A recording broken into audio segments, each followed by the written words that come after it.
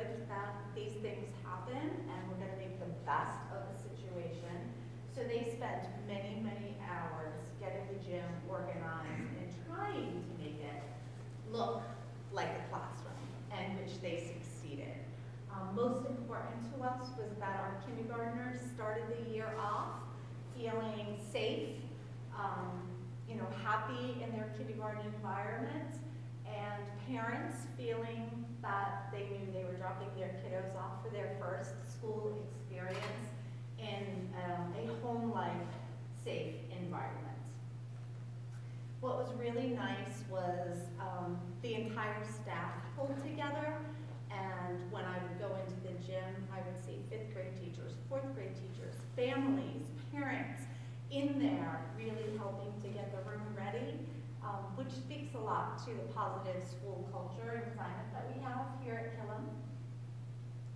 This was a fabulous day when the modulars actually moved from this side of the parking lot over onto the foundation. And I remember, I would come in in the morning and John and Martha would know ahead of time. They'd be like, did you see the modulars today? They're on the foundation.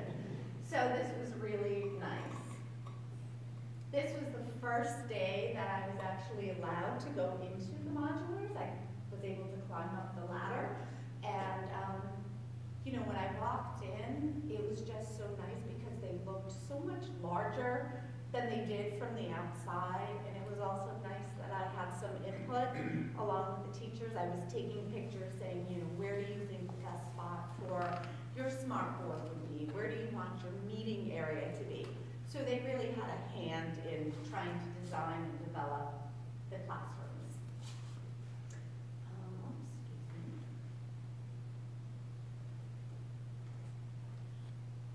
So there are just some more um, pictures of what the empty modulars looked like. Sorry, I went back to you. Um, This was an exciting day as the ramp was put on and we were able to, you know, access and really figure out how the students were going to line up outside, where the best place to have them line up was going to be. Um, again, it's all about establishing those procedures and having everything set and ready. At this point, school had started, and um, kiddos were already in the gymnasium. We were about a week into excited to um, know that we were about a week away. Um, And so here is the, the lovely foundation. I've learned more about construction through all of this process. Um, And now this is all nicely covered up with some lattice there. This, I felt this was an important picture because again, it speaks to the collaboration of the staff. That's a third grade teacher and a fourth grade teacher on a Saturday afternoon, the week before the modulars were ready. They were actually in there as the kindergarten teachers were in the gym packing up. Um, something else that was so nice was we had a group of parents come in and they were packing up, bringing all the boxes down by the door, um, so that the custodians could move. Those kindergarten parents? Oh, just- Kindergarten parents, yeah, and, but, um, I, I actually think, now I saw a few other parents. I mean, it was just so nice to just have that outreach. I had two emails this summer about concern and how's the transition going to be, and what if my child can't transition? And so we spent a lot of time, and I called the parents and I talked to them. In fact, I might have those parents come here tonight. They said if everything went well, they'd come in because um, they saw that really It's all about making the kids feel comforted, making them feel safe. I made little B and Ds, um, little wreaths for their, their doors, you know, make everybody feel welcome. And this was the first day, in the classrooms, kiddos working, everything set up. The transformation from PE and gym, hi ladies, transformation from um, classroom to gym to classroom rollout uh, was Friday to Monday. How many hours did you two sleep that day, that weekend? And it looks like the para is moving 90 miles an hour because she is moving 90 miles an hour. Our little friend's working hard. It's been wonderful for me to be able to go over there, spend some time, see all the great things that are going on. This is actually something that 3M um, was one of the sponsors at the Blue Ribbon Conference this um, past spring, and that's a dry erase table surface, so it's like contact paper. But when you think about 21st century learning and collaborative efforts, um, they were actually working on some math problems that the teacher had written out for them, and they were talking about solving the math problem. Here they are, learning. A little bit more, there's plenty of space, and we have, um, you know, all the, um, cubbies and storage materials that are in there. Little one looking out, seeing what's going on in the hot tub. And that's, that's it for my little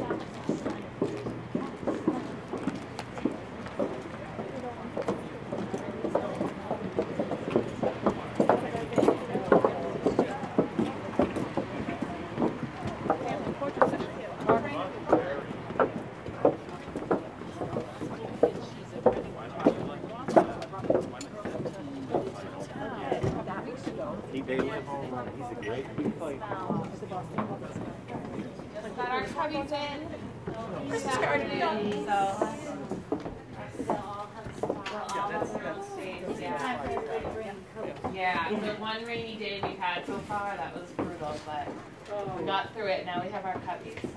So these come up off the floor? Yeah. Wow.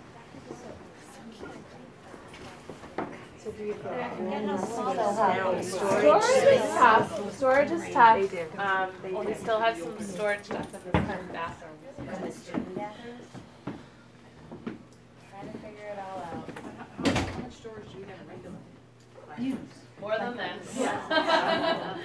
Yeah, and especially in kindergarten, it's a lot of, like, I left a classroom that shared a huge closet, so empty that whole closet out. You know, we got rid of a lot that we weren't using. It was a good time to purge, but the storage was definitely challenging. They're they're about twenty-five percent bigger ones in- inside. Oh, this is one of our parents too, of a student in my class, and he so graciously came, so. What do you think from a parent's perspective? I have a few things. Um, I think overall, I think it's, it's been wonderful. I think the, um, you know, the first question I have is, or acknowledgement actually is to the teachers. Um, Teachers, parents, staff, great job transitioning the kids from the gym to here. So I thought there was, you know, a few, few tiers, few change management things, as you know. Uh, and the teachers just stepped up to it and really knocked it out of the park. So I think from that perspective, perfect. Um, I did jot down some notes, if you guys wanna hear it now, I'm happy to tell you. Okay, good. Um, overall, I mean, again, um, teachers, amazing, as usual. I think, um, Killam teachers have always stepped up. Uh, some observations I've noticed, um, and the cubbies there were, were great additions. Um, as winter comes in New England, there's a lot of rain, a lot of snow, a lot of sleet, a lot of cold. The, the movement of the kids from here to the main building for multiple classes, that I see is a, as a real predicament. Who's gonna shovel? Who's gonna sand? You saw the ramp out there, it will be filled with ice. Who's gonna ensure that that happens? Um, I've seen, because I work in high tech, so we have a lot of campuses where you go from, from building to building, you have the nice covered kind of, um, overhangs that kind of take you from this building to next building. Doesn't have to be, uh, heated, but it's something, I think it's a shelter that the kids need, especially when they're kindergartners. It's a lot, it's a lot on the teachers, I think it takes away from their day, because they gotta pack the kids up. They've gotta push them on over there, they gotta make sure they get there safely, they gotta unpack them again. So these are the types of things that I kinda noted as we begin hitting fall. I didn't think about it when we had, um, Sure. Uh, summer, and it was great. So that, that was kind of one of the observations. Um, you know, concerned about the multiple transitions, so music class, gym class, library, lunch every day. This exposes our kindergartners to the environment, which, I mean, granted, it's a hundred feet, but it's a hundred feet of snow, ice, rain, whatever. Kids get sick, they have colds, coughs, they don't typically put on all their clothes correctly. So you've got that, I, and I see wet kids, that kind of stuff happening.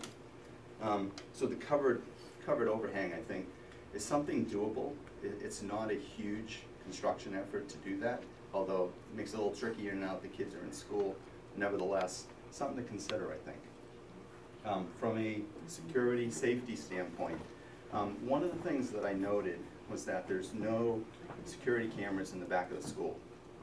So the teachers right now and the children, the kindergartners, they're, they're, ex- they're, right now they're exposed, right? A, a visitor can come to the front of the door there. They're not gonna open the door and I believe it's locked during the day. Nevertheless, there's a, a small door between them and a potential intruder. So I think that's something to consider around how do we secure this environment? Certainly cameras, I think would help. Um, and again, because there's no covered, covered uh, access way, anybody can access this building at any time during the day. Chances are, you know, it's not gonna happen, obviously, but again, in this day and age, that, that became a concern of ours. Um, roofs. So I'm assuming that, you know, the roofs have been checked and qualify for snow. And that gets back to who, who's going to do this, their snow removal on the roof? I think that's another concern. Are they structurally sound? I'm sure it passed inspection, I'm sure it is, but just a consideration. And then finally, the kindergartners themselves, are they the right candidates for this school, for this classroom? We have fourth and fifth graders, a little bigger, a little more hardy, they're not new to school. Should the fourth and fifth graders be taking these modules versus the kindergartners who are, you know, eyes wide open, right, they're totally new to this? It, it seems like we ought to put a little more care around them and nurturing around them and keeping them in the school environment versus separating them. So, a little biased, because I have a kindergarten, but I also have a, I also have a second grader here too. So, those are kind of the general things that I saw. I think overall, great, right? We wanted full day, so we got it. Um, a few extra measures, I think, might really kind of shore this up. And as you guys move to different schools, I think this is something you want to consider. So, a- actually, thank you. Um, we have been talking a lot about these different things, and we put a lot of thought into some of the things that you've raised. Um, number one, with kindergartners versus the upper grades, this is such a nice, welcoming environment for kindergartners to be in, as opposed to being in the middle of a huge elementary school. It's kind of like that schoolhouse type feel. Um, and fourth and fifth graders, they switch classrooms and they rotate when they do that specialty teaching. So that would be a little bit tricky for them. Um, I taught kindergarten for three years in a portable way back in the day. Um, but it is nice to have that sense of community with the kindergarten students. In terms of going back and forth, one of the things that we did so that we could avoid that transition back and forth is we scheduled all of their PE time or their music time. Those would be the two times that they would go into the building um, for before and after lunch. So that way they're only going into the building, say for PE, then they go right over to lunch, and then they would come back out here. We also have a backup plan, so if for any reason it's inclement weather, or if it's way too cold out, our media specialist will come out here and our music teacher will come out here so that the kiddos aren't making that transition back and forth. Um, and we got some great umbrellas from Reading Cooperative, Cooperative Bank. Bank. Thank you very much. Um, and so we were able to also use those the other day when it was a little bit rainy. These are the types of things that as the year goes on, we'll kind of figure out. Nina had a great idea with the ponchos the other day. We had trash bag ponchos the other day. We didn't have, um, any ponchos. Some of the friends that we had in our class didn't have raincoats, so we made sure we, I dripped a hole in, I threw it on them, and then their bodies weren't soaked as we walked from here to the hundred feet to the mainland, as we call it. The island, Yeah. Maud Island, And the and the mainland. But you have since emailed out to your Yeah. mothers Yeah, and. to try to get some ponchos. Small ponchos. Yeah, Yeah. tiny little Ponchos. ponchos. Tiny little- I actually saw them the other day at Christmas tree, but they were five dollars Oh, no. And I was like, oh, we can do better than that. Yeah. So, yeah, we'll get that and try to keep them dry, because that's very important. It's Right. important to their day. And so for kindergarten, it is, it's music, media center, and PE that they would be actually going into the school for. So for media, my um, library media specialist is ready to come on over here. She said all of the things that she would do in media, she can bring over to here. And because each of the portables have five iPads access to them, then she said she can facilitate small groups and do some of the tech skills with the iPads and bring over books and have, you know, kindergartners pick whatever books they want. So that way they can be commuting in there. And then the other thing is music. And the music teacher said absolutely she'll make the move out here and so we can minimize So that. you'd expect to be doing that if it's really cold or, or there's Yeah. snow, Yep. sleet. We've right? even talked about having lunch in here and having our third grade buddies, we both have a third grade teacher that our mm-hmm. classes pair with their class, and having them bring the hot lunch out to any kids that are buying lunch, to kind of minimize, just a mm-hmm. thought, we're gonna see those where the winter takes us, but we're open, hopefully the winter, winter takes us down a very warm path. Mm-hmm. Not like that. David. And just to add about the snow removal, we treat our snow removal for this area just like we would in the buildings, and same with the roof. So when we have too much snow on the roof, we go up on the roof and we shovel the snow, we do the same thing here. And we are in the process of looking at putting awnings out here on the deck. Um, that was not part of the original construction piece, but we are looking at it for the si- the, the three modules. Oh, awnings over the walkway? Over the walkway. Over the, Yeah. the ramp. Yeah, so when it's raining, Mhm. and the rainstorm, well, it's still not here at Killam, but the other two modules, the rainstorms, the gutters were not put in yet. The gutters are now installed at Eaton and Barrows, and they'll be installed here on Friday and Oh, Saturday. that would help. Yep. Yeah. Yeah. Yeah, but it's good, good to have rains like that to get things settled in place right away. Absolutely, you Right got away, we're it, settled now. right there. Okay. Yeah. Are there non-slip, I didn't notice them when I was coming in, but Yeah. on the ramp, Yeah. are- there are non-stick Mhm. slip? I got stuck.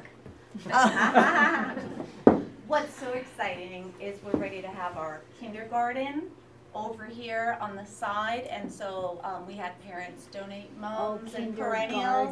So kindergarten, right? Kindergarten. Um, and we'll have that a little garden area for our kindergartners to tend to as part of their science curriculum as well. Excellent. We should go next door and Yes. see Miss Ball's room as well. Cut to the back. Oh, yeah. This is the best back- This is the best- best back yeah, deck. back three. We should see the back deck. Really should see the back deck. No, no.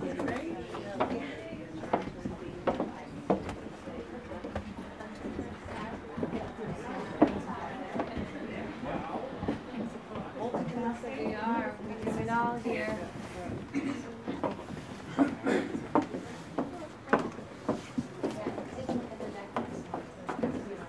We wish we could have a little more warm weather. Oh, there is a light. We're gonna be so happy. We've already done some interventions down here. Well, so they're all by brand. Yes, but they're not in By alphabetical all order. by I brand. wouldn't rearrange them the next time. They used to go outside.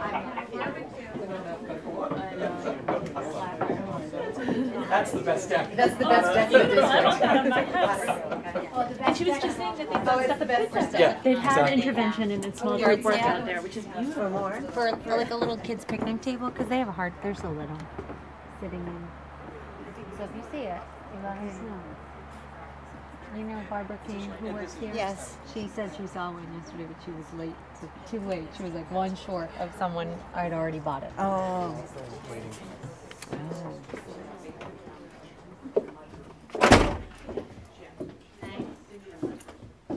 Looks great. Yeah, it feels like a home. Bring you back. Yeah, I had the firemen in town, and I had them for my other class, and I had them use them in my last classroom. Yeah. Teal is our accent color. Oh, yeah. Yeah, they are exactly the same. Isn't it? Yes. More so than my other classes. Honestly, I go, we volunteer for Yeah, them. very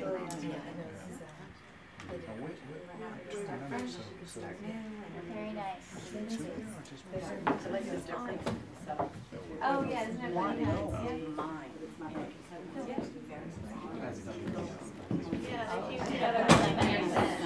Yeah. They were pretty heavy inside the building. Really, sealed the deal, it really like closes it all in. It'll be nice to have. Yeah, that's when Peter and I ordered these, we were like, oh, something for their lunchbox, something for their breakfast. Cause I'm sure with, even with the rain, a lot of people doesn't have rain, but I'm sure it will.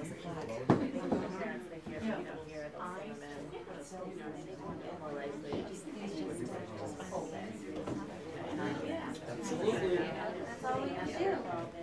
And it was freeze down here this morning, Turn the heat, and you get to control it. Turn that up, perfect. Yeah.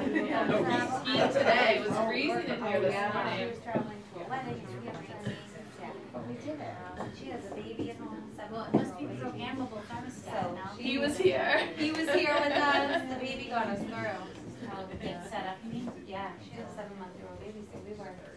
He was here with us. Oh, he was our helper.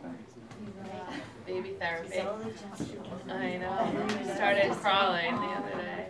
So now we're really. we had Yeah, first video his here. First. Yeah, everything Big else. claim I to fame. No, No, I live in Salisbury. You, I know. I know. Salem, New Hampshire. Things they do. But it's about the same. It's like thirty-five minutes. No, well, I hit a little bit, but it's not bad. I hit a little bit where they, one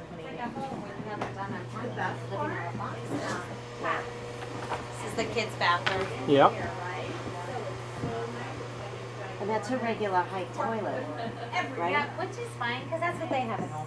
Yeah. If you think about it, I know. So Other people have originally, said that. yeah, people were concerned. Yeah, but. Yep, mine's here. Oh, and it gives it time space, so it could be over Airbnb or. Yeah, it's that. Yeah, yeah, yeah, yeah. Oh, yeah. This is the first time I've done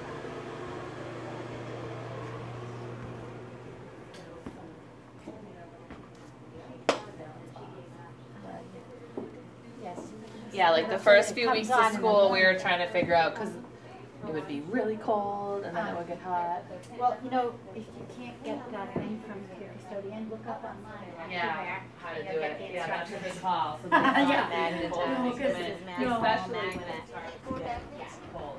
Yeah, that's a lot. We take magnets, yeah. Yeah. We'll take them. Two more. Programming our heat.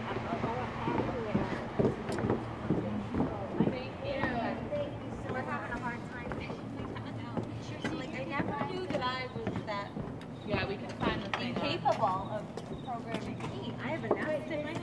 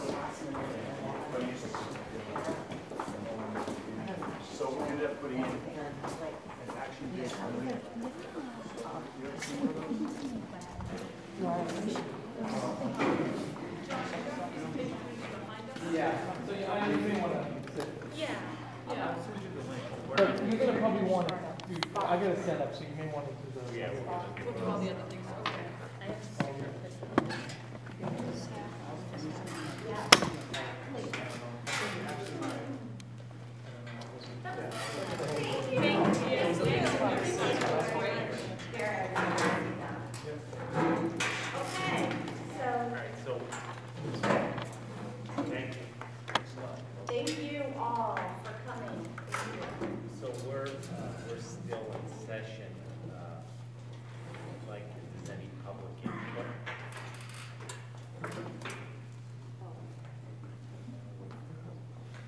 Do reports.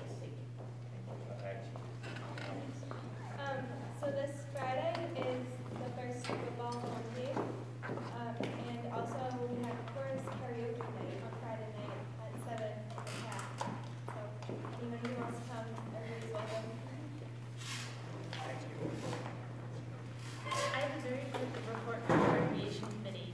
The, um, last year, the rec committee, um, hosted downtown, the very first ever downtown trick or treat. They were hoping to get about hundred kids, um, uh, several hundred kids. They bought five hundred bags and flew through them in the first fifteen minutes. It was, they estimate they had over a thousand kids last year.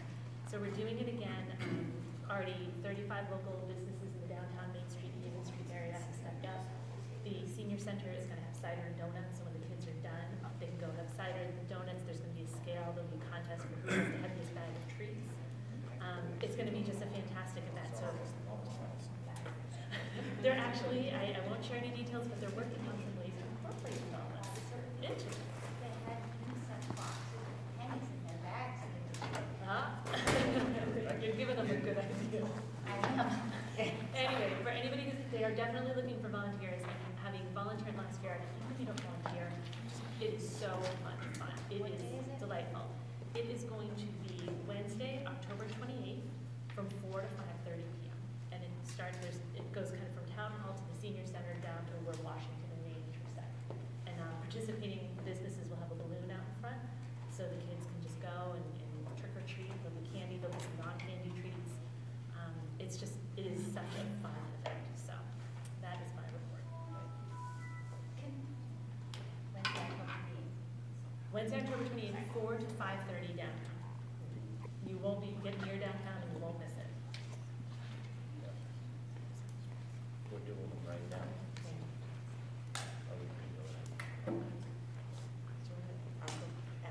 Okay. Uh, So I just wanted to report some members of the board also were here and attended the, uh, the CASA presentation of Care for Only, um, which is a movie that was produced by James Wahlberg. And it was, the event was, had excellent attendance, um, and I think there were, there were actually quite a few young people there. We didn't get to answer all their questions, so I want to encourage the young people to come to the next event that we have, and it will be at the Performing Arts Center, so we should have time to answer all the questions.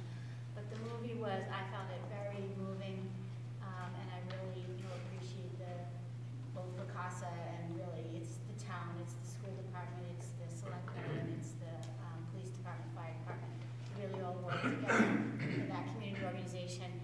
And, um, you know, the, the opioid and heroin issues are issues that we all need to pay attention to, and that's really clear.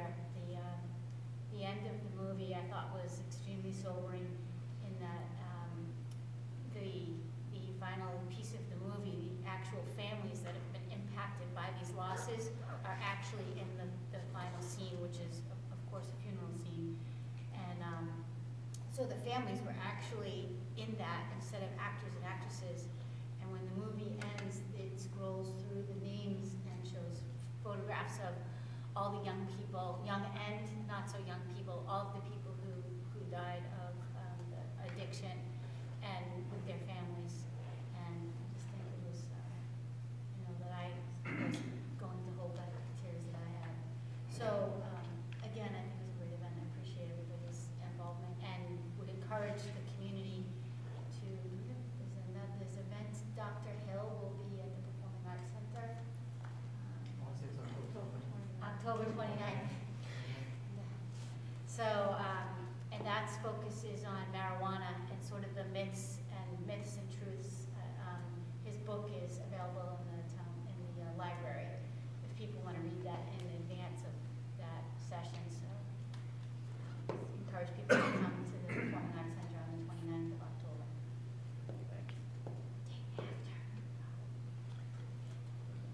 Um, Just an update for the Human Relations Advisory Committee meeting we had last Thursday. Uh, We had our select, our liaison from the Selectmen come, there were great conversations. We're especially thankful that we had a representative from the high school GSA as well as um, three representatives from the World of Difference program from the high school. Um, And we discussed outreach and we have, we have reserved the pack for the Martin Luther King Day multi-community celebration. And um, our next meeting will be the end of October. Stay tuned. Thank you. Is Dr. Doherty, you're up. Do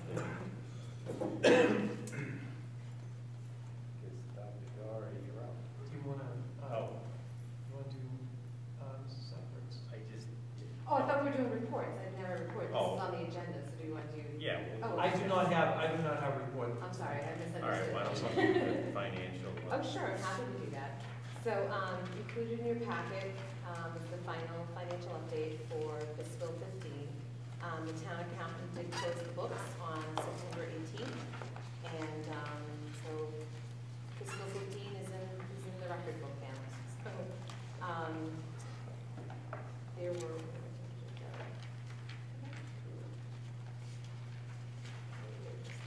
um, so including the packet was the, the regular update that I uh, traditionally give to the committee, um, which is a, a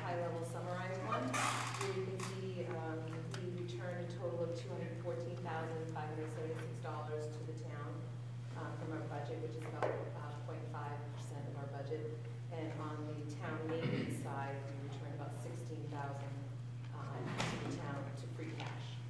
Um, this is the first time, um, at the request of one of the committee members, we included a little more detail of the cost centers. We broke it out by category to give a little more context to where the money actually gets spent by category. So The memo that I provided uh, gave a lot of detail terms of each category, the administrative cost center, um, you know, there were a lot of surplus, a lot of savings on professional salaries due to turnover that uh, were funded, funded other things, um, uh, the audit, the communication audit,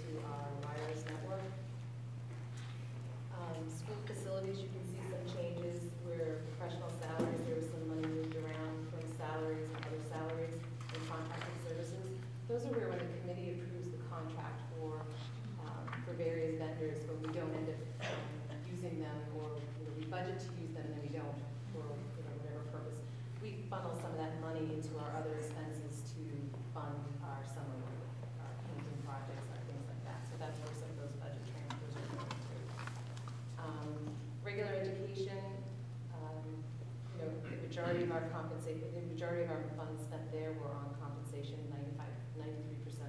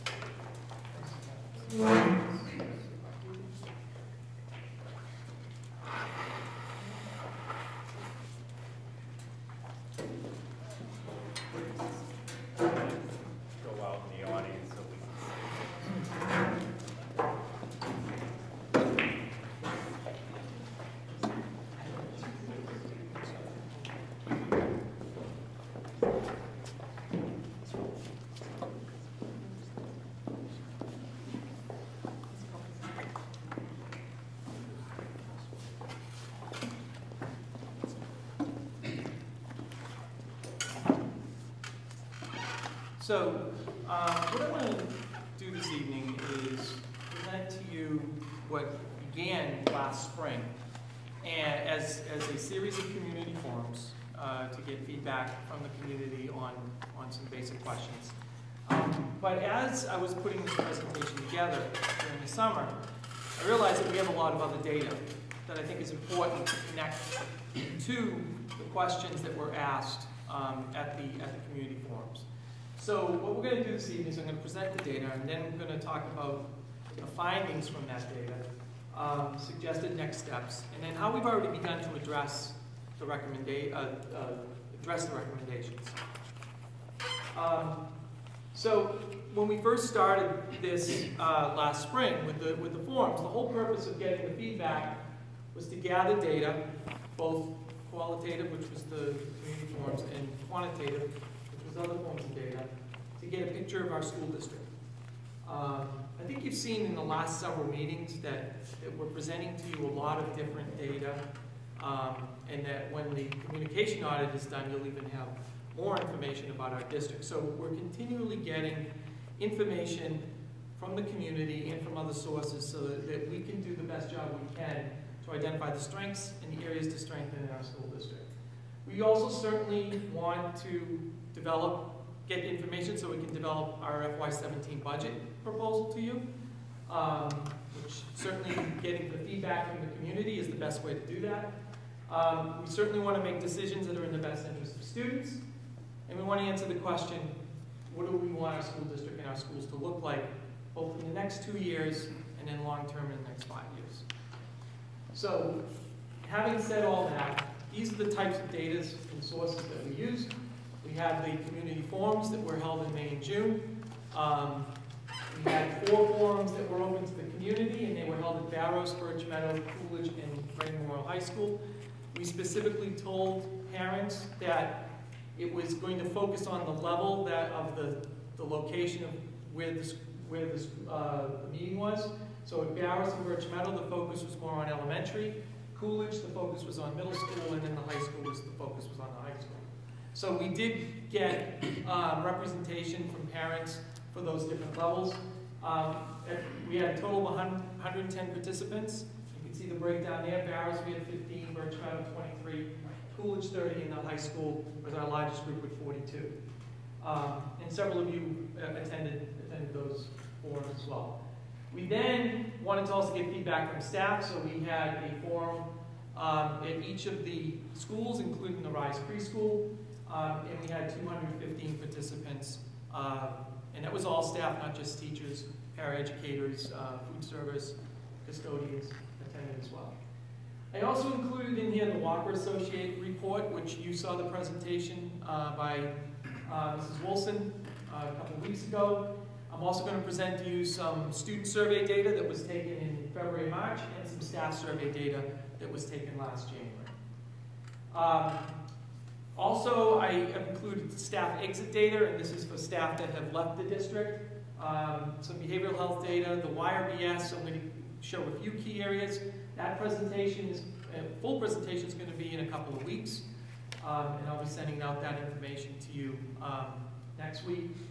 Um, and also took a look at some district rankings from some publications that have come out recently. So it really was taking a look at a lot of different lenses get a complete picture of, of our school district. And certainly, this isn't static, it's going to continue to grow, and um, we'll, we'll add to it. Here are the things that were not included in this presentation. So if there were single building issues, um, except for the high school, because that's we just have one high school, um, this is not, that was not included in this presentation. Um, the building principal attended um, a lot of these forums, and so that information was given to the building principal if it was a single building issue for, for, for that principal to, to address. We also didn't look at singleton issues. What I was looking for in the community forums was consistent themes. So if there was one issue brought up at one forum, that is not captured here. Again, because it was a single building issue and that was that information was given to the building principal. John? So that information isn't in the report, but it was as appropriate actioned on with the, the administrator for that school? Yes. Okay. Yes, it was. Um, I did not include the full YRBS data in this presentation, and the communication audit which we should get the results of that in December, January timeframe. Um, But I think it's gonna get a lot of rich data from that, just judging on what are the questions that, that I heard tonight, and also the focus groups that are answering those questions over the next two days. So first I want to go to the community forums, and we asked four questions at, at each of the forums. Um, we did a lot of listening at those forums. Uh, what are the strengths of the Reading Public Schools and you'd like to see continued? What areas in our school district need to be strengthened? Uh, what new programs and initiatives would you like to see started? And what current program or initiatives would you like to see changed or stopped? Um, so those were really, that's where really, where the conversation went for those, for those forum questions. So starting with the strengths. Um, certainly, a big strength is our students and uh, our staff, and the commitment and dedication of our staff uh, in working with our students. Uh, the support of our parents, the parent involvement that we have in this, in this school district is, is amazing. The quality of our art program and music programs and other fine arts programs, um, the opportunities for our students to participate in athletics and extracurricular programs and foreign exchange programs and overseas field trips, the collaboration between teachers and parents. Um, our guidance department was cited. Uh, the real world problem solving for juniors uh, was mentioned. The middle school model, uh, critical to the developmental age of, of those, those students. Quality of our special education programs and the way technology is integrated into our classrooms.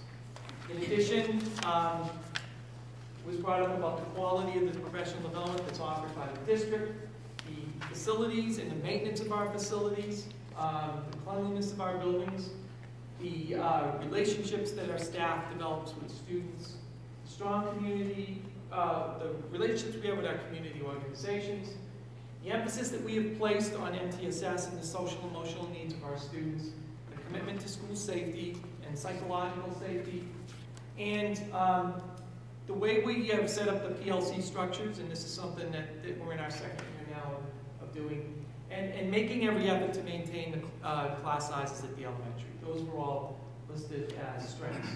In addition, we heard about the extended day program and, and how that is now servicing many students after school and the quality of that program.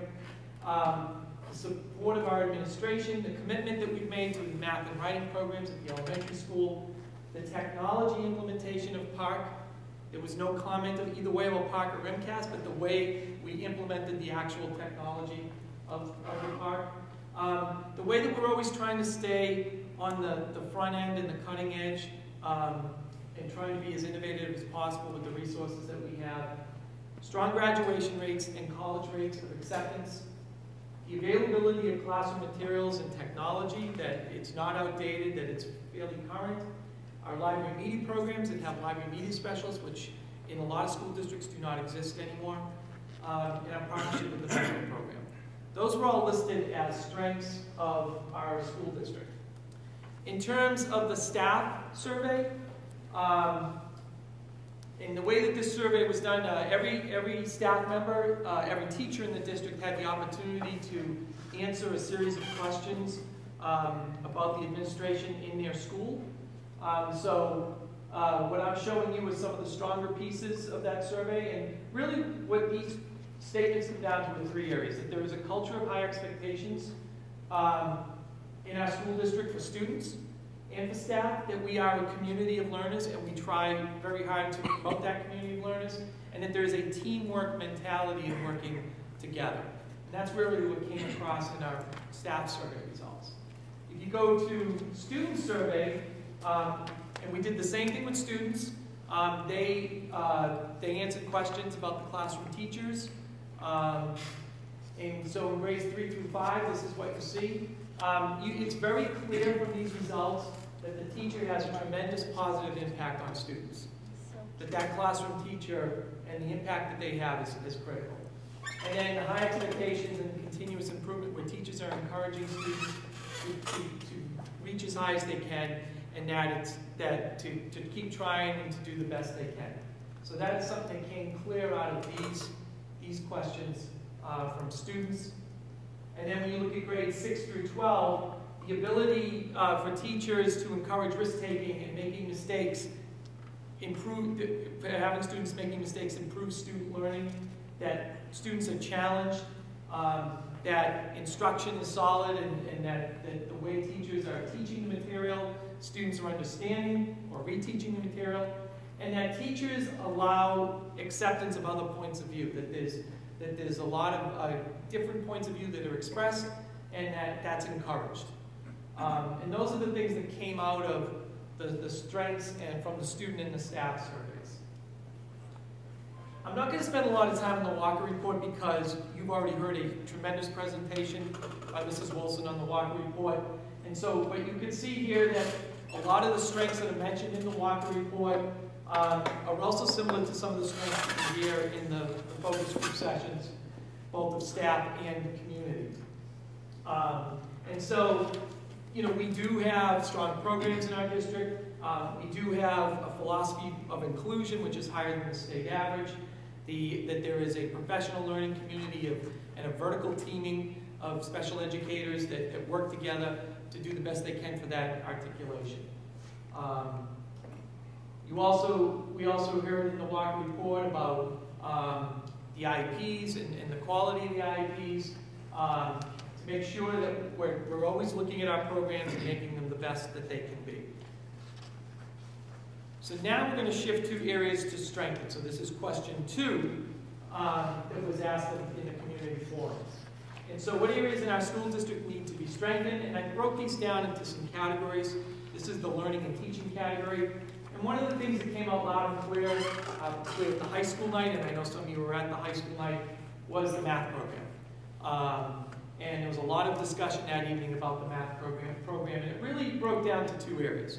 One is the consistency of instruction and expectations across the same course, from teacher to teacher, um, and then supporting students who are struggling.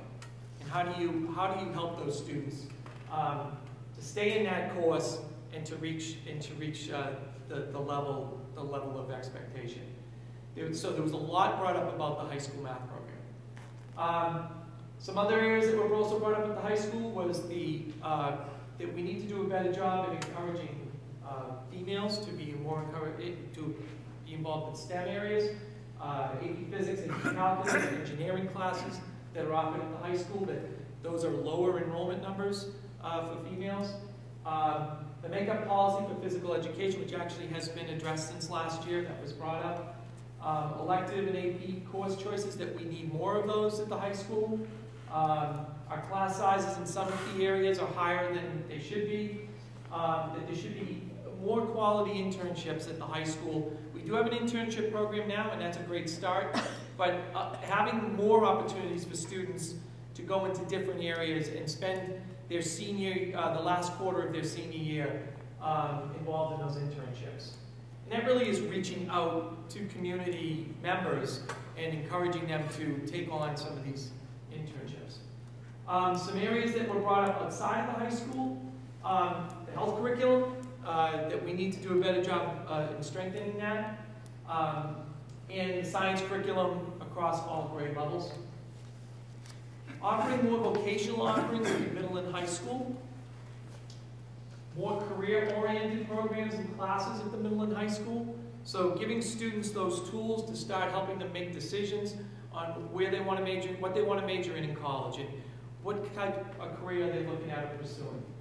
Um, there was a strong desire to start your college preparatory, um, uh, the whole college preparation in your sophomore year rather than your junior year, um, rather than condense it into, into the junior year. People want more clarity on the elementary report cards. That was an area that came up a lot. That we really need to have more curriculum information nights for parents. Uh, the math night that was held last year with Joshua Eaton came up is that we should do more of that across the district.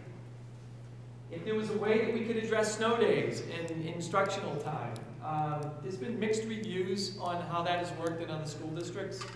Uh, so that's something that, that certainly need to be looked at. And equality of, of substitute teachers um, was another area that came up. In, under supports and structures, the transition of students at those critical levels between pre-K and K, 5 and 6, 8 and 9, um, making sure that uh, the, the transition is as seamless as possible. And that's for all students, not just for special education students, but for regular education students as well. We do not have enough tier two academic and social emotional supports for our students. So if a student is struggling, um, you know, how do we get them that extra tutorial support? Uh, or if a student is struggling emotionally and socially, how do you, how do you give them that support? And that's what that tier two is. Uh, at the middle school level, our math teachers, they want more time. Right now, they have 50 minutes. They would love to have an hour or more each day to teach math. Um, that's something that we heard consistently at the middle school level, not just for math, but for other subjects. That wouldn't it be great if we had hour-long blocks? Um, technology support and training, uh, that came up last year. Uh, I think that's something we have addressed this year when we've added the extra technician, when we restructured th some things, and um, are providing more professional development in this area. Increased resources for ELL, and, and earlier in the year we talked about the need, and that we're in the process right now of, of hiring a new ELL, an additional ELL teacher, uh, because those numbers are increasing throughout the district. Um, the time to provide tier two support for students so that they don't get pulled out of classes that classes that they may enjoy doing, like art or music or physical education. Um, and then the school schedule came up a lot, and every level wants to do something with their schedule. Um, at the elementary level, in terms of the Wednesday piece, um, the middle school level, as I mentioned, in creating longer blocks of instructional time, and at the high school level, um, creating a schedule that allows students to take additional offerings and programs and electives and, and things like that. Um, we have a pretty basic uh, Carnegie-type schedule at the high school. And so looking at some, some schedules that, that may allow for more of that um, interdisciplinary type approach to teaching at the high school. And then social emotional, uh, social emotional support for students, particularly at the elementary level. That is an area that we, do uh, lack some support in, um, is the elementary level for additional support there. Under leadership and professional culture, um, increasing increased collaboration between special ed and general ed teachers, so finding the time for our special education teachers and our uh, general education teachers to work together. Um, more opportunities for vertical planning. Um, improving the special education team chair leadership and structure, that's something you heard in the Walker report as well. Um, balancing between building-based and district-based professional learning communities, that is something we've actually addressed this year um, with the way that we have set up our building-based times and our district professional learning communities Craig did a great job taking the feedback last year from the teachers and, and coming up with a, with a, a schedule that, that makes a lot more sense. And then col collaboration between athletics and extracurricular, and one of the things that was brought up particularly was band athletics and drama, and that you have students that do all three, and finding a way to make sure that um, they're able to do all three. Um, and then there was a lot of discussion about that. In terms of facility and infrastructure, uh, areas that need to be strengthened is that there was a lot of feedback about starting a one-to-one program, at, particularly at the middle and high school level. Um, they mentioned some school districts around the area that do this now. Um, heat and humidity in some classrooms at the high school, um, which even this year we heard about because we did have a span in September that it was pretty hot. And the problem is, is the way that the some of the classrooms on the third and fourth floor of the high school were designed. Um, that will allow for good airflow. Um, wireless coverage in some areas of the school, I believe that this is something that has been addressed at, at the middle and high school level. It is something that we need to look at at the elementary level. Um, and then space. Space came up a lot. Classroom space and small group space availability is, is at a premium in, in the school district. Under resources, um, something that was a consistent theme in several of the focus groups was the financial support for education. Um, and that, that's certainly something that, that, you know, we're all aware of to have that sustainable level of funding that, that is needed. And recruiting and retaining staff, and where compensation plays such a key role in that. Um, and those, those are two areas that, that came out quite frequently in our focus group sessions. In terms of the staff survey piece and the areas to strengthen, so some of the things that came up when, when staff was surveyed, uh, looking at the data, giving, uh, giving more time for data analysis. Um, we have a lot of data available, but it's, it's the time to generate those, the, the data in a way that the teachers uh, can access it and use it, and then also the time to interpret it. And I think with the PLCs, that's going to provide that opportunity, but it's getting that data in a format that our, that our staff can use. The use of formative assessments, something that we need to do a better job on, um, and then we're starting to chip away at that. Meeting in teams to discuss student work, again, that is going to be something that the PLCs are going to be doing. And then cultural diversity came up as an area as well in terms of how do we, how do we do a better job of encouraging staff to promote cultural diversity, but also use more cultural diverse materials. In terms of the student piece, areas to strengthen grades three through five, classroom management came up, and differentiating and personalizing instruction. Those are the two themes that we saw in the, in the areas to strengthen in the student survey for grades three through five. And then in grades six through 12, we also saw the differentiated and personalized instruction as well in six through 12 and the use of formative assessments. Instead of just an end of the unit assessment, having frequent checks throughout a, a, a lesson so that students so that students can check in and see if they understand the material. Again, the Walker Report piece, I'm not going to go into as much detail because we had a whole presentation on that. I am, I am going to flip through this piece unless someone wants me to go through it. Okay. Because Mrs. Wilson did a great job with that. Um, so now moving on to question three. Question three is, what new programs and initiatives would you like to see started? So it was a very strong desire, which I said in an earlier question, for more career electives at the high school level. Um, the medical field, education, uh, urban planning, those are three things that actually came up during the high school discussion. Having advisory at the high school every year, but making sure that advisory fits the developmental age of the student, the grade that they're in. Right now, we have advisory in the freshman year only. Um, more elective offerings at the elementary and middle school. Um, essentially, what we've been offering at the elementary school has remained unchanged for 25 years.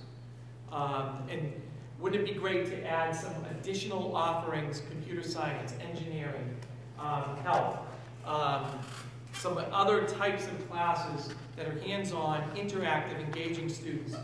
Um, those are some of the things that came up. Certificate programs at the high school, which was an interesting concept that came up, is giving, giving students the ability um, to, to go for a particular strand. Uh, so they would receive a diploma, but then they would get a certificate on top of that diploma at the end of their four years because the student focused in a particular area, such as engineering. So they would take certain engineering courses and maybe be part of an internship uh, in their senior year, or going a fine and performing arts strand, or a technology strand, or even an education strand, um, or global studies, which involves foreign language or in social studies in some of those areas. So that's something that did come up um, in, in the two high school sessions. Having a community service requirement at the high school. Right now, um, only the freshmen have a 10-hour community service requirement. Um, there are several uh, clubs and activities that do have community service requirements, but there is no other requirement past those 10 hours for freshmen. The one-to-one technology program came up again. Changing the start times was discussed and encouraged uh, to, to look at seriously, and, and there's a lot of emerging research out there about changing the start times to a later time for middle and high school students um, that it help, that does uh, help student learning. Um, more foreign language offerings, including having it at the elementary level, having a strings program, and a pre-KK and K-1 transition program. So these are classrooms where you may have a student who isn't quite ready yet for kindergarten, but really shouldn't be in preschool anymore, or they're, not quite ready for first grade, but they really shouldn't be in kindergarten anymore. So it's having a transition classroom that maybe students spend a, a number of months until developmentally they're ready to go on to the next step. Um, there are some school districts that do have those programs. Everything that we're talking about here, by the way, does require space, and so that's something that, you know, you, you need, you need to keep in mind when these conversations are going on. In addition, what, what other new programs or initiatives? A digital literacy curriculum, K through 12. Um, right now, our library media specialists do a very good job with the time that they have with their students, but it is something that should be done more of. In terms of professional development, going to a more Edcamp model, which is more of a, a teacher choice on the day of an event, where teachers bring up topics, and then people gather around that particular topic and they talk about it, they present, they share. Um, middle school health came up as a, as a program or initiative. Um, having full-time art, music, and PE teachers at each of our elementary schools. Um, having academic and STEM programs after school at the elementary level. Increasing the school day came up, which I, I kind of laugh a little bit when I heard this because when I was um, my first year as an assistant superintendent, we did try to extend the school day, and we got a lot of resistance, but there was a lot of talk about doing that. So it's amazing how 10 years later now this comes up. um, eliminating Wednesday afternoons at the elementary. Um, Killam School renovation, the building that we're in right now, that, that came up, is that Killam is, is something we're gonna need to take a look at. Um, tuition free full day kindergarten for all students and an early childhood center. Those were all things that there was a consistent theme that was, that we heard. Um, Moving on to question four, what current program initiatives would you like to see changed or stopped? One thing that came up, which is no surprise, is that we're doing too, too many initiatives being done at one time. And for the last three years, absolutely, that was, that was the case. Um, and so that, that definitely came up. Refocus on instruction, not assessment, and that was the, the whole of the differentiating piece, differentiating that instruction in classes and not focus as much on summative assessments. Um, special education being on two different PLCs, that was an issue last year, which we have resolved this year. Special education teachers are now on one PLC. Uh, the co-teaching model, which is defined differently at each level, and that came out loud and clear in the Walker report. Um, graduation requirements, there was a strong desire to take a look at those graduation requirements, and if you're going to redesign the high school schedule and the programs that you're being offered, that's something that would have to go hand in hand with that. Standards-based report cards, um, there was a lot of conversation about taking a look at that again.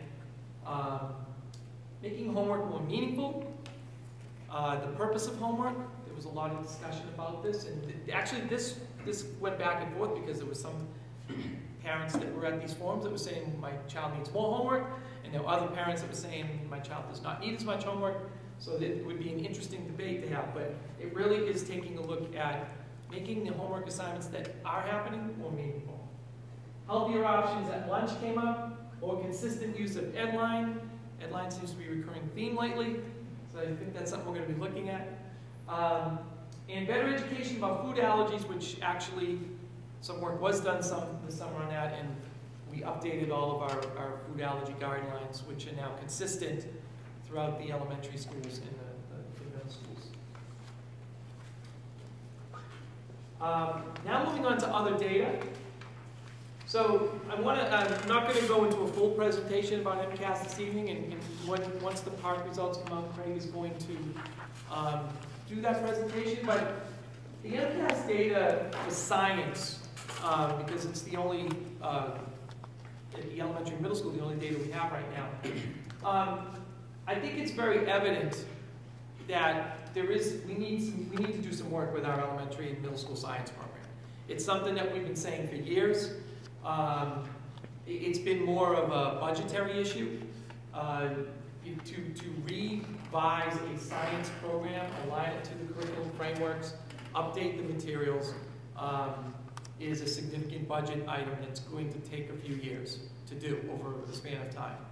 Um, you know, the data shows that uh, even though you look at the state scores, which aren't as great either, um, this is an area that we need to do a better job in. Um, so I put this slide up here for that, for that purpose. Um, our high school science scores are, are, are pretty good. Um, you always want to try as much as possible to get more students into the advanced at the high school level, so that's an area that we need to, to focus on as well. The other MCAS scores that we did receive were at the high school level, and these scores were very positive this year. Um, you know, you can see, you have your 2015 scores here, your 2014 scores here, and you can see that we, we've seen, we've seen some, some significant increases, um, in the advanced proficient, uh, increase here, uh, for, for, uh, for math, uh, for, for ELA, we also saw it. I think the other piece that was significant is that we saw our student growth percentiles for math went up from thirty-one to fifty-four and a half. Um, in English stayed pretty much the same, but I think what, what's important is that this next slide is that the tenth graders that took the test last year were at the middle school level when we began realigning the new framework. So this is the first class um, to take the high school MCAS since we began implementing the. Um, so I, I think that's significant. Some other things that are, that are high marks of note in this year's high school MCAS results is 92% of our high school students scored proficient or advanced in mathematics. 74% were at the advanced level. And I think that's, that's an an important point as well. And then when you're looking at the growth, 64% of our students this year were in the moderate to high growth range. And that is the highest, and our me, highest median, 54.5, is the highest uh, for high school math since the state began uh, collecting that student growth percentile in, in 2008. Um, and then the language arts piece, 98% of our students scored in the profession or advanced range. And that includes the highest percentage scoring at the advanced level since the state began MCAS testing. So there was a lot of positive, strong results in our high school MCAS, which, you know, which I think speaks to the teaching, um, the fact that, uh, that we were diligent with the alignment to the frameworks, and we're going to continue to work on that, um, and that these students, you know, began that alignment when they when they were in middle school. Very quickly, I'm going to show you some, some pieces of the Youth Risk Behavior Survey data. You're going to get the full presentation in a couple of weeks. But there was some, there was some things that, there was some high pieces that I wanted to show you that were important, both positive and not so positive. So some positive things uh, where we saw either increases if it's positive or decreases. Um, having a teacher to talk to went up this uh, in last year's uh, Youth Behavior Survey at the high school. Um, and that's significant because we want to make sure that at every level, but particularly at the high school with the size of our high school, that students feel they have an adult to go to. Um, you can see that that actually went up compared to the 2011 and the 2013. There is another question which you're going to see um, in a couple of weeks that talks about an adult outside of school that they go to, and that went up as well. So, so students having adults that they can talk to, they can share their problems with, that they can, they can go and talk to an adult if they notice that a friend of theirs is in, is in danger, that's really important. Um, we also saw some decreasing use in alcohol and marijuana and heroin um, between 2011, 13, and 15, so you can see the bars going in the right direction. We certainly have a long way to go. Those percentages we would love to see lower, um, but it is on in the right direction.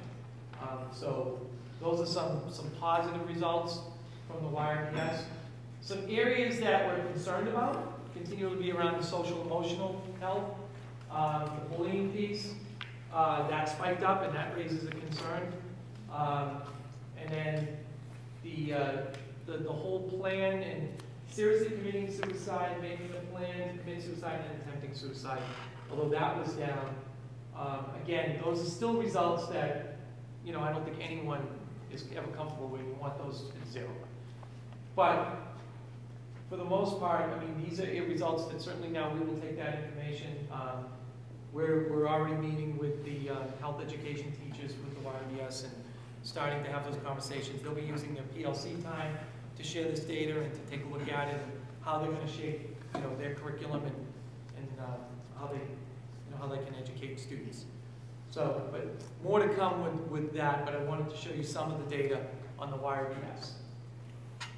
And then this chart here with the physical activity and health, this is, this is another chart that they showed um, in, in the report. You can see that it, it varies in the different areas that they're asking, but um, wanted to point out something, screen time.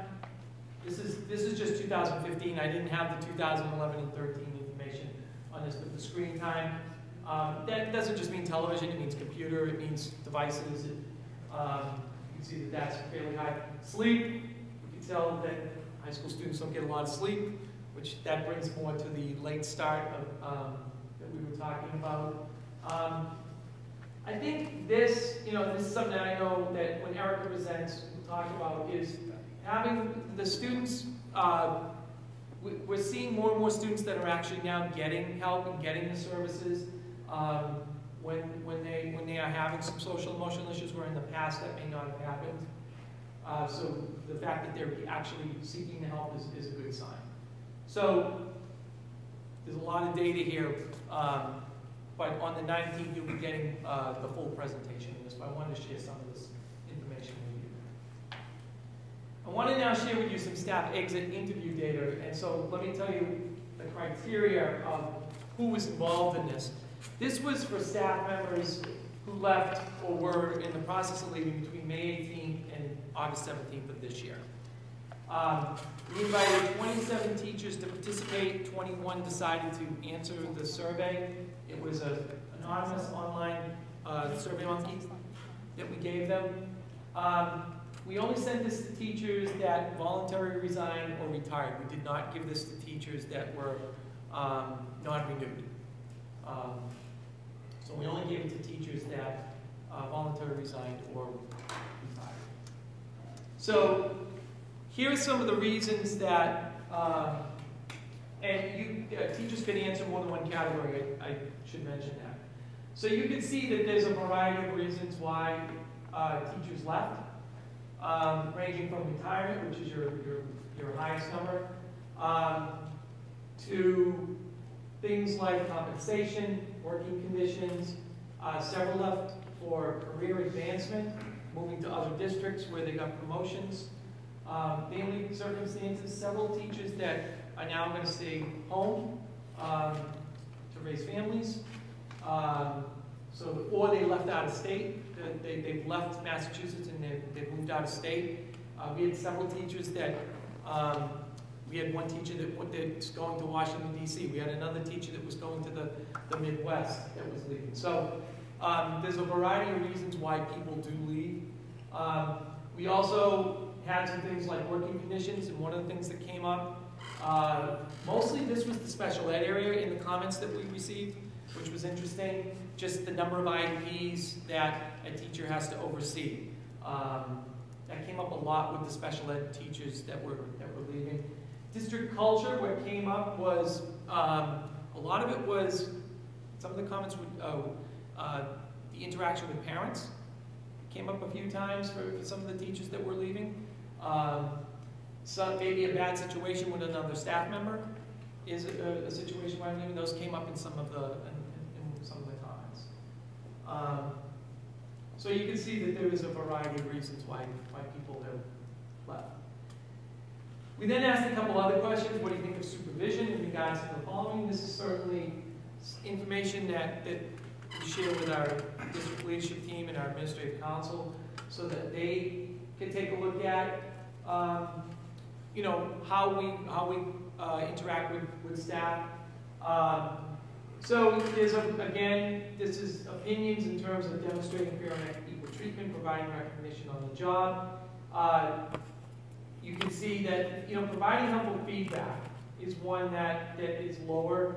Uh, explain reasons for decisions. So these are two areas. This is communication, and this is something that certainly we can always do a better job of, and, and, and is something that we're, we're working on. Um, and then how would you rate the following in relation to your job? You can see that there's, again, you see some things about communication. Uh, you know, the, the areas that are concerning is, again, is the communication is, scored a little bit lower. Um, with your department of school, with district, with your supervisor. Um, those are those are areas that certainly need to Work on working conditions is another one that came up. Um, Again, that, and I think you're gonna see on the next slide, here's the next slide on workload. Um, What's the sample size? This is, this is the same twenty-one, uh, twenty twenty-one. This is all the eggs in. Yeah, this is the, the twenty-one that answers the. So, um, no one said that there, it was too light, was their workload. Um, but forty-two percent that their workload was too great. Uh, eleven percent, uh, forty-seven percent very, but usually manageable, eleven percent said about right. I think this speaks again to the number of initiatives that teachers have been involved with over the last few years. This is not just a Reading issue. This is a federal issue. This, this is na- national. Uh, Massachusetts. I hear this all the time from superintendents and other school districts.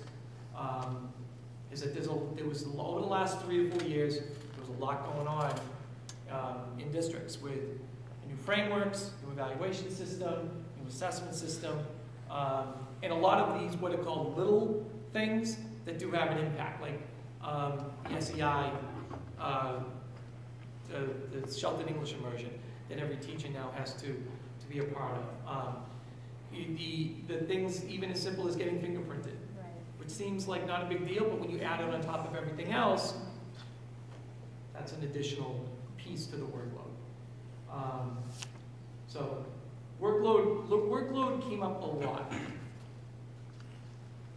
Salary and benefits, um, we certainly wanted to get their feedback on this. I think this is important data. Um, you can see base salary, medical plan, dental plan, um, life insurance, you know, those types of things. So I, I think it's, it's mixed, but I think it's, you know, it's important, uh, information to have. Um, and now moving on to the last piece, uh, is the, looked at some annual publications that have come out recently, because sometimes the community brings these up, so I, I felt it was important to at least include them as data, um, and just talk a little bit about them. So the first one is the Boston Magazine ranking, uh, which, which came up, and I, I think what's interesting is you, you got to drill down and find out because every year Boston Magazine comes up with this ranking, but every year also they do change their criteria. So last year Boston Magazine ranked high schools. This year Boston Magazine ranked districts, and last year Boston Magazine ranked Reading Memorial High School as 30 out of 125. I think it's 125 uh, high schools uh, in the in the Boston metro area. This year they ranked districts Reading was 55th. But the formula that they use um, was, a, was a little bit different than they've used in the past. So what they did is they schools were rewarded on a higher ranking based on smaller class sizes, lower student to teacher ratios, and higher per pupil expenditure. Um, less emphasis was given to standardized test results. Um, they also included graduation rate, attending college, average SAT scores, AP participation, AP score. So what I did is I took a look a little bit at this and see what, what are the things that we can control, or at least have a greater influence on, and what are the things that we can't, because they're financially driven. So the ones in the green, um, when you dig deep down, per pupil expenditure, class size, student-to-teacher ratio, and AP participation are all directly related to resources that um, availability of resources. AP participation is actually tied into the number of AP courses that you have and the number of students that are in those AP courses. Reading does not have a lot of AP courses at the high school compared to other school districts. So when you take a look at, so here's Reading's overall ranking, 55 out of 125. Um, and if you take a look at the green, all of the green ones are above 55 financially, and those are the ones that are given higher weight in the formula. The ones that are not financial, um, graduation rate, attend college, SAT reading score, SAT writing, SAT math, and AP score are all lower than 55, which means those are, we're higher ranked in those areas. What's very impressive is, is we're ranked 12 out of 125 in students attending college. That's a pretty impressive number compared, when you compare that to all the other school districts in the area. So I, I point this out because, you know, the, you look at the, the actual data, and, you know, I think it's, I think it's clear that although financially, we, we don't always have sustainable resources, um, you know, what we do with those resources, we, we do a pretty good job with for our, for our kids, and that's a credit to our teachers and certainly our parents and the community that we're in and the support that we, that we receive. There's also another publication out there called Niche.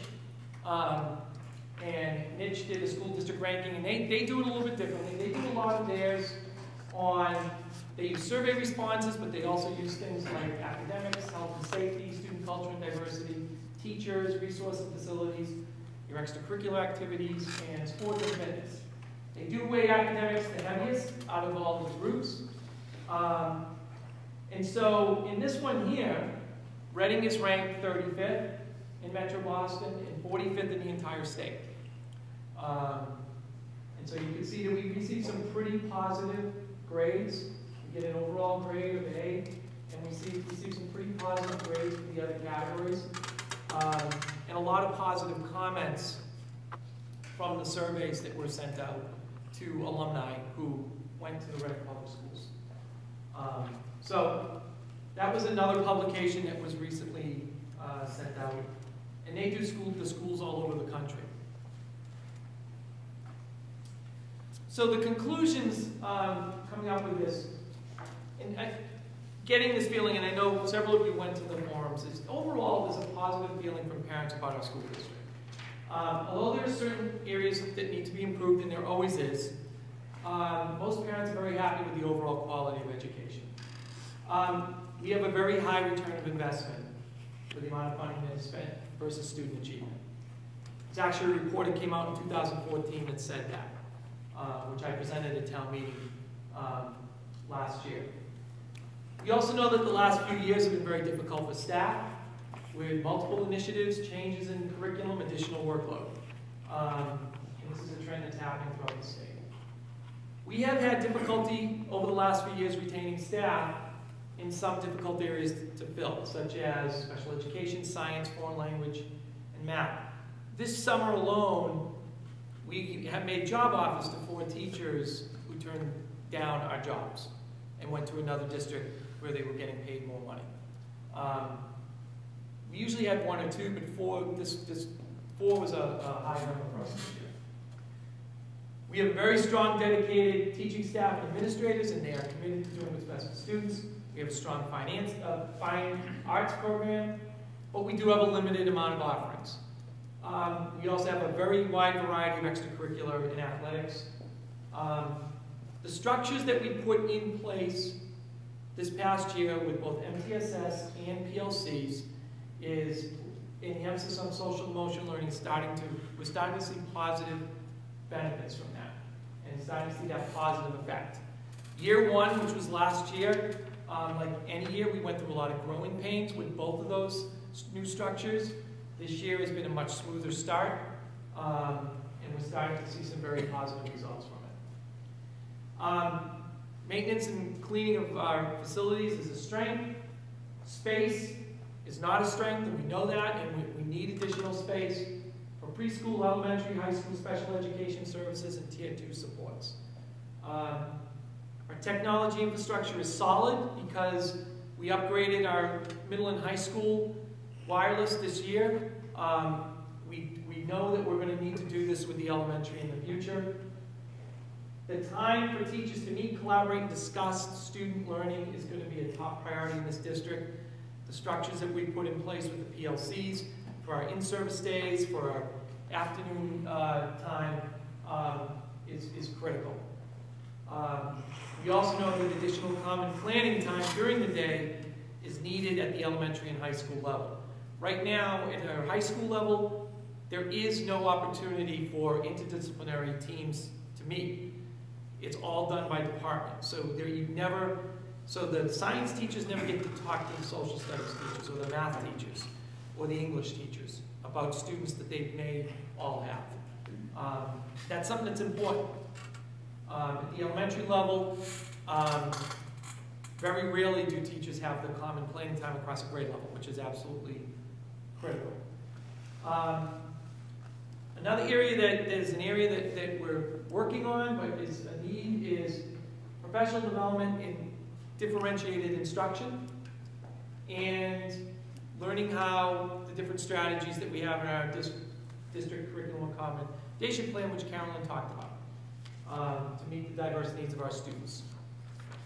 If we can, if we can build up that toolkit for our general education teachers, it will reduce our referral rate in special education. And that's, that's a fact. So it's getting that skill set that's necessary for our general education teachers, so that they have the strategies to help students when they're struggling.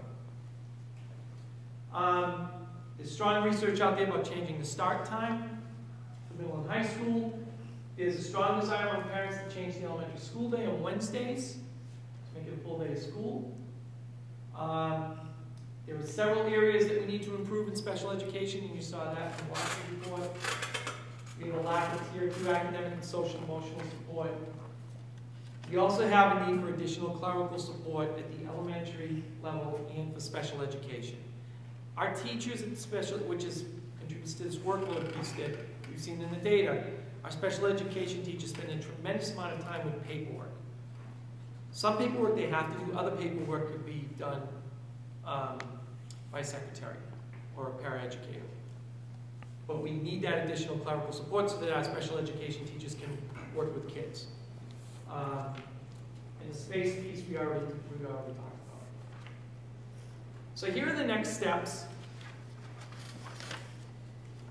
First, I want to talk about the work that has begun and needs to be continued. So continue to put in place the professional learning communities and the multi-tiered system of support work. Continue the work of the Space Needs Working Group so that we can come up with a long-term solution for space for our schools. Redesigning our science curriculum, uh, aligning it to the new frameworks. This is going to be a budgetary item, and it's going to be more than a one-year budgetary item. This is a multi-year budgetary item. We've already started doing some of that with the KnowAtom program this year. Increase or add STEM, fine arts, wellness course offerings at each level. Um, at the elementary level, have, having health education, so the students aren't being pulled out of physical education class.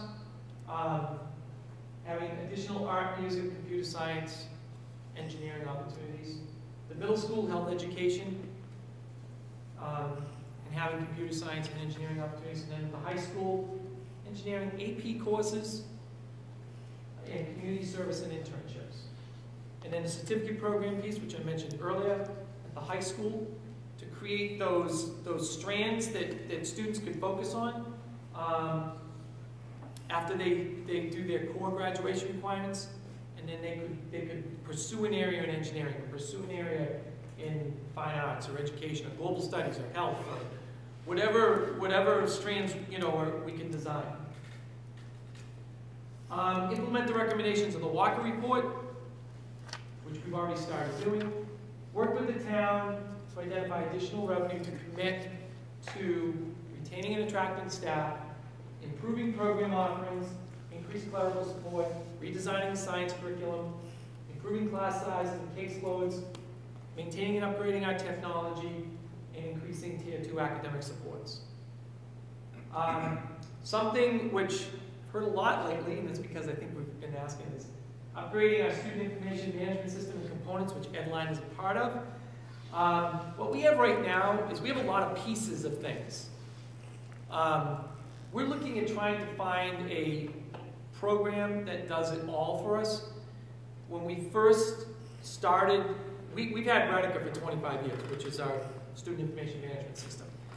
But now there are a lot of products out there that have all-encompassing modules that go with it, which has a parent portal, which has other pieces to it.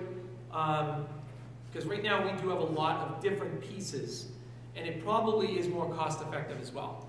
So we are going to start looking at that this year, uh, bringing in vendors and taking a look at something that's a little bit more user-friendly.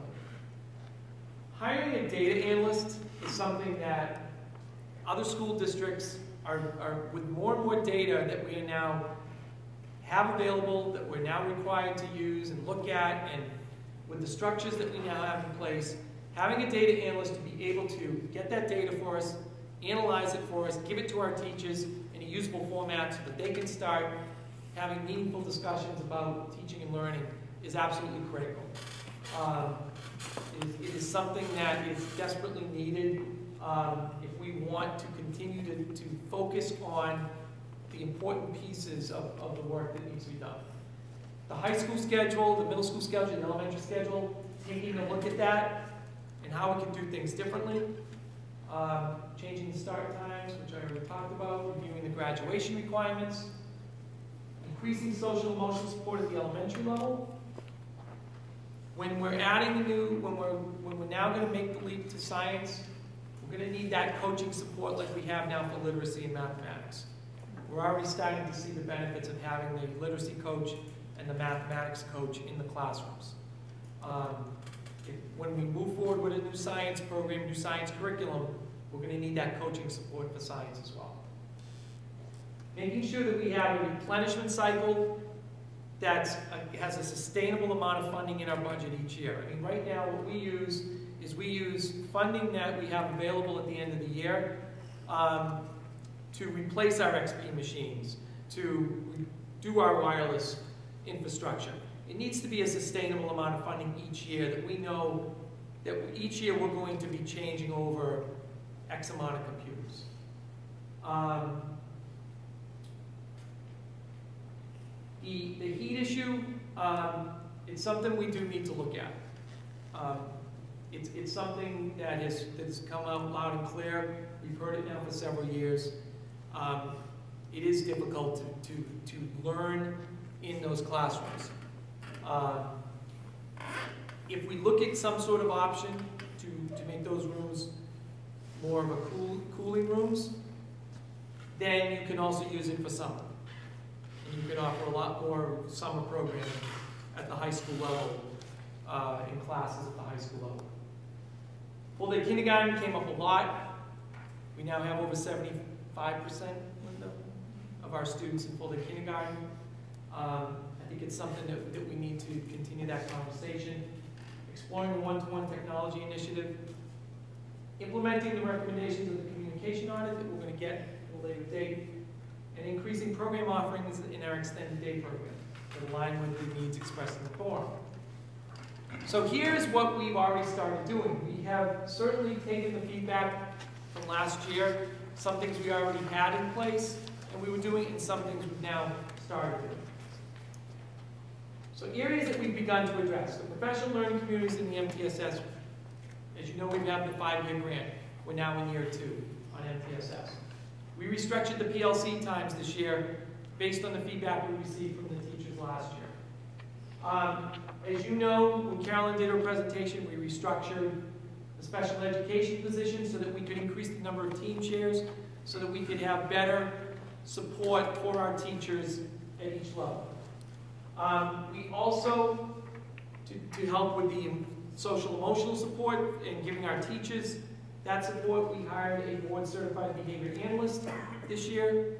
Um, and they have, she, that person has been providing tremendous support for our SSP program, K to 12. We've been providing more teacher leadership opportunities so that they feel that they're valued, it's recognition, something that came up in the, the survey. So we have several now leadership opportunities for our teachers. They're involved as MTSS building leadership team and district leadership team. We have curriculum leader stipend positions, and we have data coach, data coaching stipend positions. We hired an additional ELL teacher to address the growing need in our ELL population. We've improved our professional development offerings for all our staff. On October 13th, we have a huge menu of items that our elementary, middle, and high school teachers are going to be a part of.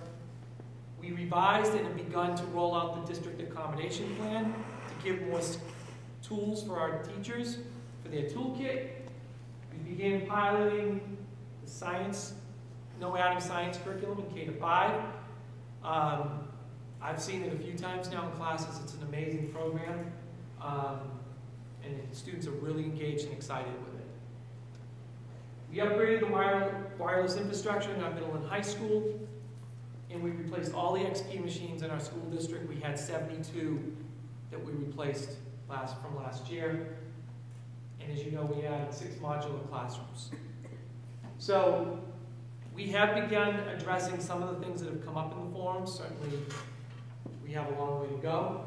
Um, I think the important point is, is that we are always open to listening to the community and to the staff. And we try to do everything we can. If we feel it's in the best interest of students, we do what we can to, to make that happen.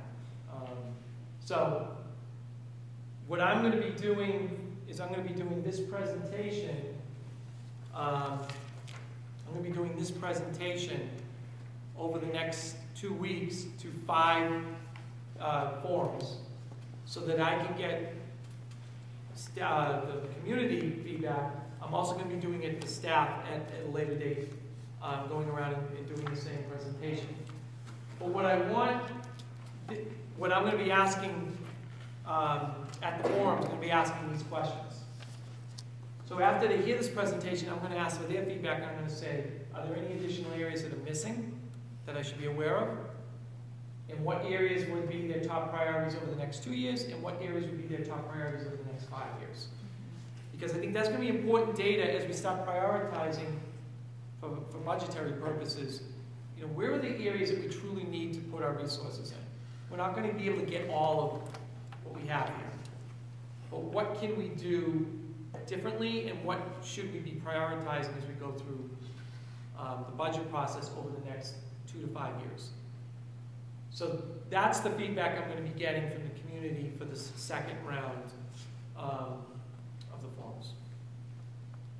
So, My, one of my concerns is, you know, only hundred and ten people generated all of this. I mean, we've gotta do a better job of getting more people than that if you're looking for Right. that kind of feedback in the second round. So, um, Chair Rose, so along those lines, um, I know we often reach out to the other boards, um, and the town meeting members, so I don't know if there's been like a specific invitations, but I think we probably need to, you know, speak to some of our counterparts, uh, the board of selectmen, and, um, and then I'm thinking, you know, the town meeting members should be aware of maybe some of this, because they need to be engaged. So, I don't know if we can, if that invitation can get out through Bob about these forums to invite specifically the town meeting members. So I think this is, We can that's certainly really do important. Um, I, I just also wanted to say, if I can, that I'm, um, this has been a long process of gathering the data, and there's a lot of data here that you put together, and I appreciate it. I know that this, it's long, because there's a lot of data here. Um, I think it's really helpful to be asking these questions, and it is, you know, for us to get the opportunity to sort of go back through and sort of do some of the highlighting that, that we might need to do ourselves about, you know, what's the two years, what's the five-year? And, um, and really, I think, I, I'm very cognizant of what's next year. Because I, I think that we have to think about what are the things that we have to protect next year so that we can then be able to step forward two years and five years. So I, you know, there's a lot of things that are on this, the list, uh, that we, that we need that we want to be doing, that we need to, to strengthen. But I'm very, you know, cognizant of the fact that we gotta also highlight those things that are the strengths and figure out how we're not gonna lose s- s- traction and we're gonna lose structural underpinnings in the next year. And I think a lot about staff and a lot about, you know, what, what we need to do there to not lose, um, some of the gains that we've been making. You know, you lose those when you, when you lose staff to promotions outside the district or, um, just, you know,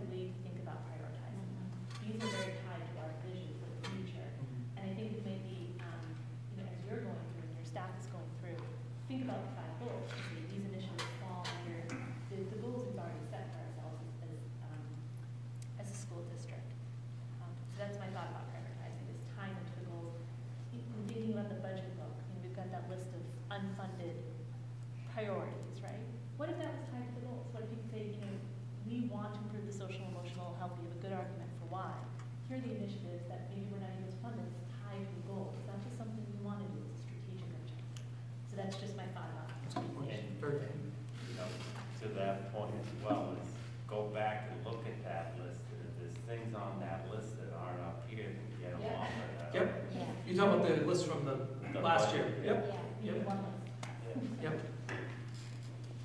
Yes. I just wanted to ask a question about the, um, start times, just, is there, um, is is there data or movement or dialogue, um, you know, in our league, in our, um, about adjusting start times and, um. Yeah, um, I, Melrose started the conversation last year. um, Um, I know Burlington has had some conversation about it. right, cause I, Those are two obviously, Middlesex leagues. it's sort of a, it's a tricky thing to do all on your own. Um, Um, but, and let, I, I mean, unless yeah. it's maybe, maybe it's a little bit, maybe you take some sort of baby steps, I guess, and, um, I'm thinking, you know, when, I'm thinking back to when we did talk about extended day, Yeah. and sort of bigger changes to the schedule, but, um, I You think, thinking in terms of that uh, extracurricular thing?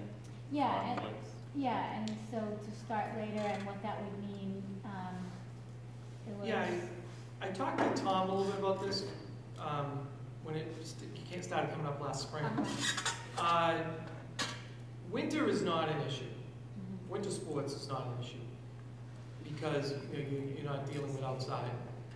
Um, a lot of the uh, towns now, now have lights. So actually your fall and spring aren't as much of an issue anymore either. Oh, in terms of being able to start competitions later. Yeah, although cross-country's of tough. Anyway, um, I, I just was wondering, you know, there, there's gotta be some things that are happening around us also, I think, to help enable that. And um, so I think it's a, I mean, I think it's a good discussion to have, but I don't, but in terms of prioritizing, I wanna make sure we're spending the time talking about the things that, that maybe, you know, are, are most important to us. And I just wonder about that likelihood to actually implement the change if we're on an island. Yes. So I'm just, that, that, speaking to that, um, who's, is that, was that driven by teachers or? it's been driven by, it's been driven by the community. The Board of Health sent us a letter last year. Just um, recently. Just recently. Yeah. Um, So when you say the community, so, I mean, is it, are we hearing it from parents? Are we? hearing Yes. it from students? yes. We're hearing it from students? No, I, I don't know. We're not, well, we're hearing it from students that they would love to sleep later. Well, I think that, there's not too many that wouldn't agree, but we also have to recognize that they'll be staying here later too. So, Right. uh, You know. there's But two most of ways. our kids do stay here later. They, they, they do activities. We have over seventy percent of our kids involved in activities. Yeah, no, we have. After school. I can, I can speak to, on the MASC listserv, this is definitely a conversation that's happening with other districts. I'm, yeah, I, I, I will find it, it's really interesting, but it- yeah, I, just in terms, the Mass Association of School Committees has a listserv. Oh, So any oh, list. community, yeah, any, any member of the school committee in Massachusetts can send a question out there, committees want to do this, and certainly, uh, other communities are definitely, uh, listening to it. Because the research is very strong. Yeah. So the research is, is very strong about sleep And, and I do deprivation. think, you know, speaking about research too, what, what, what are we doing that, you know, so you mentioned, um, some initiative, uh, advisory, et extending advisory? Do we know that advisory, have data to support what we're doing with it now is effective? You know, do we know it's worthwhile, the time we spend doing it? Um, The other thing too, I think it's really important, as much as, you know, we need community input, you know, board of health and all that, but I think the, the faculties, I think really, um, it was clearly stated, I mean, right at the top of your, your presentation, that, you know, one of the most important things is, uh, you know, our effective, the, the teachers have such a huge impact. So accordingly, they, they should have, I think, a, you know, strong input into all this as well. I think Which- one thing. that- which piece, Gary? Pardon? Which piece? Yeah, Any, any of it, to be honest. And then I think one thing that sort of is a overriding theme too that comes out, um, you know, uh, it's, you know, teacher morale has obviously been aware that it's an issue in, in, uh, the Reading Public Schools. And we're hearing that, well, it's a, it's a national and a, you know, statewide issue too. But personally, I'm not really concerned about the national level or the state level. I'm concerned about teacher morale Public Schools. I think that, I didn't really see anything saying how we're gonna address that. And I saw some conflicting information somewhat, that we have, um, too many initiatives, but then I see, um, many new initiatives added to it, potentially. Science Um, curriculum. I'm not saying we shouldn't do these Right, things, but. I, I think the things that we are putting in place are actually benefiting teachers, which reduces workload, which gives them more voice, which gives them more recognition. Um, there are a lot of the things that we put up there that we're doing. Mhm. Um, And are we hearing that from the teachers as well? Yes, we that's are. what comes down, that's the yeah, bottom. we are. Do we hear it from the teachers? Are they saying this is actually? Yes, I mean, we're gonna do another survey in, um, uh, mid-year, like we did last year, a PD survey. Um, but we have heard very positive comments about the rollout this year of our, you know, PLCs. How, how would we heard that from the students? I've heard it from the union president. Anecdotally? Uh, She's getting feedback and getting it from teachers, and Craig is getting it from teachers, and we've been going to the PLC meetings and, and hearing this. Okay, no, I'm, I'm asking because I just, you know, I'm- I'm- I wanted to, to know that, that's the fact I was thinking. But, uh, you know, so the anecdotal information we received from them is, is Yeah, right now, I mean, once, once we, once they're been going for a few months, then we'll do a survey like we did last year, which will be a joint survey with the RTA. We did the same thing last year. Even so, if I could just add one thing, like you mentioned the science program, we've been very cognizant about, or strategic about how we could do that. I mean, even if it's such a tremendous need, it's way overdue, but it would also be very, you know, it'd really stretch our capacity to say, for instance, okay, in one year, we're going K five or K six or K eight or whatever it is that we could do all in one year, but how do we roll that out in a way that can, um, create some experience, uh, expertise, the positive uh, feelings around it in a way that can benefit the kids, but is very doable within our capacity as a staff. And so far, I mean, that's been an example that we've been hearing great feedback from the teachers, I mean, they're thrilled. Teachers who are in pilot chose to be in pilot. The KnowAtom? Yeah, Yeah, yeah. The KnowAtom. it's so awesome. And the middle school teachers are chomping at the bit. They want to do Uh-huh. this, and I bet they we didn't have the resources to have them pilot this year.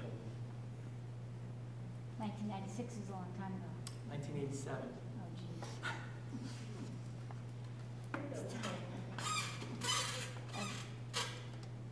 Oh, yes. I have a question. You mentioned the student information management system that we want to start right away on trying to figure out what the best system might be now that there are other options out there.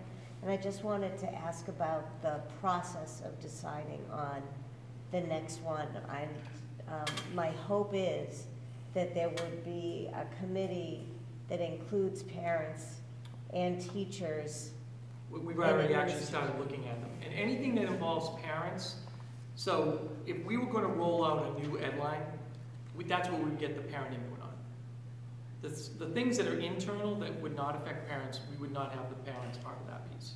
I was assuming that that included the Edline piece, when you talked about the, so that was my mistake. I was thinking that that was the Edline, Well, so, the, the problem is each product has different components, so we're looking at the best one, or best ones, that we can, you know, then go from there. And, and so then you're saying you would, you would definitely get feedback from parents parents on that parent module. Absolutely, Right, yeah. yeah, as part of the Right. process of looking at that. Okay. Just like there's a nurse module, we're gonna ask the nurses for their feedback on the nurse module. And um, The teacher evaluation module, we're gonna ask the TAP committee to take a look at that one. And, you know, the curriculum mapping one, Craig and curriculum leaders take a look at. And is that, is that, that has the schedule too, is that the software that has like the schedule, or is that a totally different thing? I'm thinking high school. That, that's part of your student information Oh, management so system, it- yes. yeah. You mean that develops the schedule? Yeah. Yes.